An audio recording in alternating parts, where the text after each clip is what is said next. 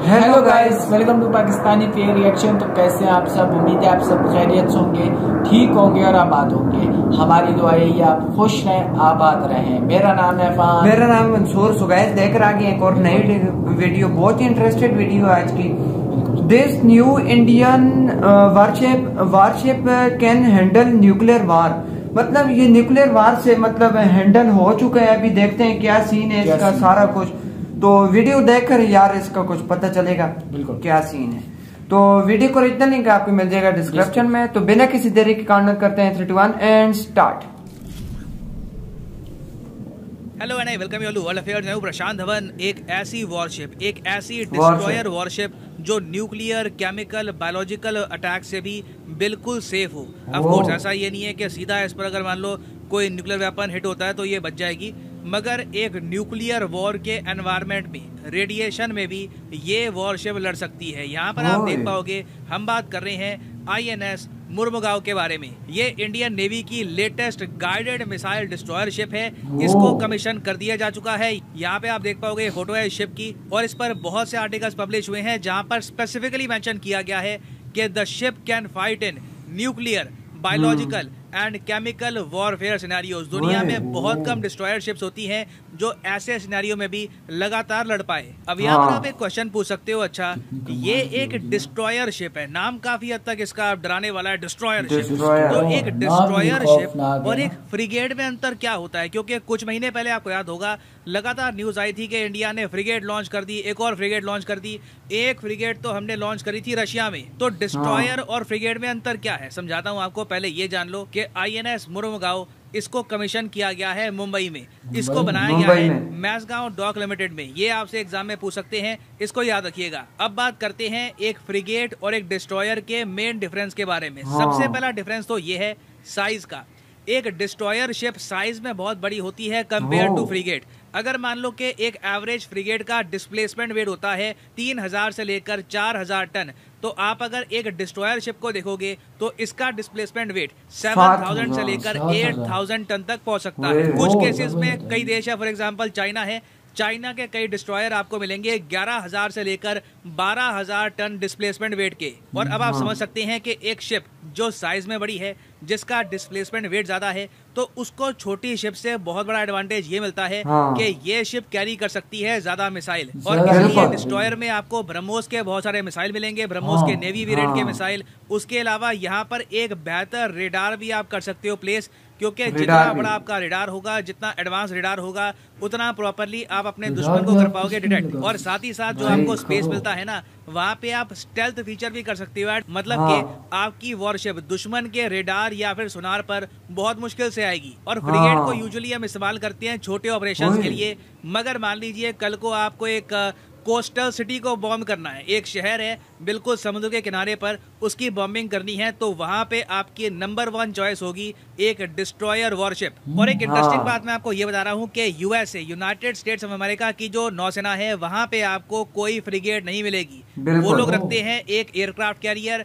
एक डिस्ट्रॉयर और इंडिया के केस में मैं आपको बताऊँ तो सबसे ज़्यादा हमारे पास है आज के समय फ्रिगेट तेरह है हमारे पास फ्रिगेट और 11 ओए, हैं हमारे पास डिस्ट्रॉयर शिप्स। क्योंकि देखिए इंडिया और चाइना के पास डिफेंस का बजट अभी इतना है नहीं कि दोनों देश 10 10 11 11 एयरक्राफ्ट कैरियर रखें तो इसलिए इंडिया चाइना डिस्ट्रॉयर और फ्रिगेट्स ऐड करते हैं अपनी नेवी में। और वैसे अगर हम बात करें डिस्ट्रॉयर्स की तो डिस्ट्रॉयर्स की हमारे पास चार टाइप की श्रेणी है। हर डिस्ट्रॉयर अलग टाइप का है। फॉर एग्ज़ाम्पल हमारे पास राजपूत क्लास का डिस्ट्रॉयर है। ये बहुत टाइम पहले का है यूएसएसआर के जमाने का। इसका डिस्प्लेसमेंट वेट भी बहुत कम है।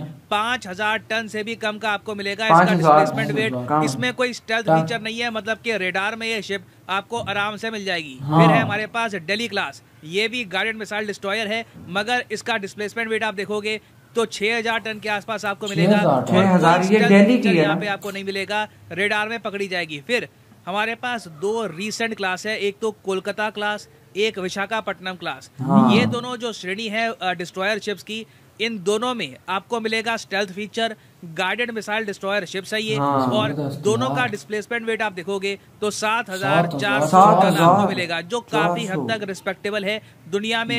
यूजुअली जो भी हाँ, बनती है डिस्ट्रॉयर शिप इतना डिस्प्लेसमेंट वेट उसका होता ही है। तो हाँ। अभी के लिए देखिए भारत का एक प्रोजेक्ट चल रहा है जिसमें हम लोग बनाएँगे विशाखापट्टनम क्लास डिस्ट्रॉयर्स टोटल हम लोग बनाने वाले हैं ऐसी चार वॉरशिप्स एक बन चुकी है कमीशन हो चुकी है आईएनएस विशाखापट्टनम और एक अब कमीशन हो चुकी है आईएनएस मोरमुगांव। टोटल कॉस्ट हाँ। है इस पूरे प्रोजेक्ट की तीन हज़ार आठ सौ करोड़ रुपए। जी हाँ तो इसका मतलब ये हो गया कि एक डिस्ट्रॉयर की कॉस्ट आ रही है ऑलमोस्ट नौ हज़ार करोड़ रुपए। तो जो ये वॉरशिप हमने करी है अभी कमीशन इसकी कॉस्ट थाउज़ेंड करोड़ महँगी है है भाई। 1.1 बिलियन डॉलर्स और जब आप 1.1 बिलियन डॉलर खर्चते हो सिर्फ़ एक वॉरशिप में तो आपको बहुत सारी सहूलियतें मिलेंगी बहुत बड़ी वॉरशिप है। तो यहाँ पे आप दो ध्रुव हेलीकॉप्टर या फिर दो Sea King M K forty two भी हेलीकॉप्टर कर सकते हो प्लेस इससे बिल्कुल। सबमरीन हंटिंग में भी आपको हेल्प मिलेगी। उसके अलावा इस डिस्ट्रॉयर शिप की रक्षा के लिए हम यहाँ पर बत्तीस बराक एड मिसाइल भी करते हैं डिप्लॉय याद हाँ। रखिएगा बराक एड मिसाइल अटैक करने के लिए नहीं है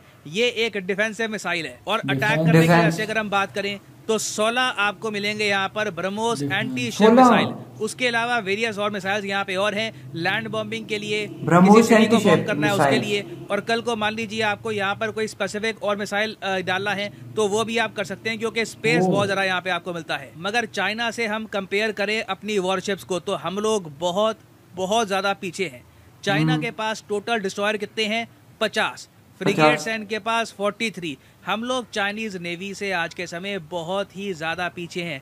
कल को अगर भारत और चीन में जंग होती है चाइनीज़ नेवी बड़े आराम से इंडियन नेवी से निपट सकती है। नहीं, ऑफ़ कोर्स हमको तो अगर हेल्प मिलती है किसी और कंट्री की तो हम कहीं से फाइट पुटअप कर सकते हैं नहीं तो ओवरऑल नंबर्स के मामले में आप अगर देखो तो चाइना बहुत आगे निकल चुका है। उसके अलावा जो इनकी डिस्ट्रॉयर शिप्स है उनका डिस्प्लेसमेंट वेट भी 11000 टन के आसपास आपको मिलेगा हाँ। तो मतलब कि चाइना की वॉरशिप्स में ये लोग ज़्यादा मिसाइल भी कर सकते हैं डिप्लॉय मगर दूसरी तरफ़ अगर हम कंपेयर करें अपनी डिस्ट्रॉयर शिप को पाकिस्तान के साथ तो पाकिस्तान के पास आज के समय गिनती की दो डिस्ट्रॉयर शिप बची है वो भी बहुत ज़्यादा पुरानी है 1970s के टाइम की है। है और इनका जो डिस्प्लेसमेंट वेट है ये भी तीन हज़ार टन के आसपास है तो हाँ। जो 1971 में हुआ था जैसे हमने यार इसी के साथ ये वीडियो खत्म हुई तो आज हमने देखा भाई क्या डिस्ट्रॉयर शिप भाई इंडिया बना रहा है। कमाल कमाल। और भाई इसमें मतलब मिसाइलों की यही समझो बरसात इसमें लगी होगी और इसका वज़न कितना होता है। इनकी जो है ना पिछली हाँ। दो जो थी ना उसमें फ्यूचर कम थे। हाँ और, और इन्होंने अभी बढ़ाया है इसका वज़न भी बढ़ाया है फ्यूचर भी इनका बढ़ाया है इनका हाँ। वज़न भी बढ़ाया और इन लोगों ने जो है ना कितने करोड़ों रुपए लगाए भाई और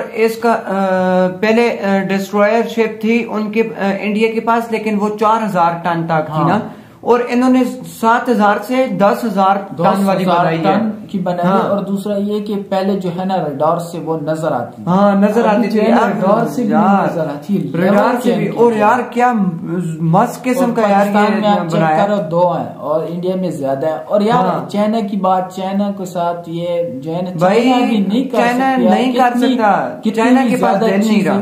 चीज़ें ले लेना आप चेक करा चाइना में दिल नहीं है हाँ। इंडिया जो है ना दिल खोल के लड़ता है वो चाहे ये नहीं देखता चाहे एक डिस्ट्रॉयर शिप हो चाइना के पास या सौ हो लेकिन इंडिया के पास जो है वो भी उसके लिए बहुत है और हाँ। और ये बात के पीछे ये दो एक दो साल मैं आपको देता हूँ। अभी देखो ना पाकिस्तान के पास दो हैं और वो भी पुरानी वो भी पुराने हाँ। से। नए तो वो फ्यूचर में बना ही नहीं रहा। हाँ। और दूसरे ये कि चाइना जो है ना इन सालों में जो लगा रहा है पैसा ना तो चाइना को तो पीछे छोड़ हाँ, आराम से छोड़ सकता है। और यार काफ़ी कमाल की तो यार बहुत ही। हमें अच्छा लगा है। आपको ये वीडियो कैसी लगी कमेंट सेक्शन में ज़रूर बताइएगा। तो मिलते हैं नेक्स्ट वीडियो में तब तक के लिए अपना बहुत ज़्यादा ख्याल रखिएगा। तो यार बाय। बाय